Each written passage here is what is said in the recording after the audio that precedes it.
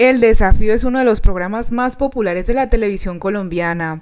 Este reality show que combina competición física y estrategias de convivencia ha puesto a prueba deportistas y aficionados al deporte. En la temporada del 2024, en conmemoración a los 20 años del programa, el desafío introdujo una dinámica especial donde algunos participantes más icónicos del programa regresaron para competir con duplas.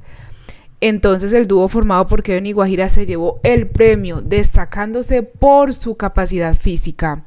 Aunque Kevin entró al concurso de Caracol teniendo pareja dentro de reality, tuvo un amorío con Natalia, que terminó luego de la visita de la madre del ganador del desafío y aunque pareciera que había cerrado su corazón a otras personas, parece que la relación con Guajira se convirtió en algo más que de equipo.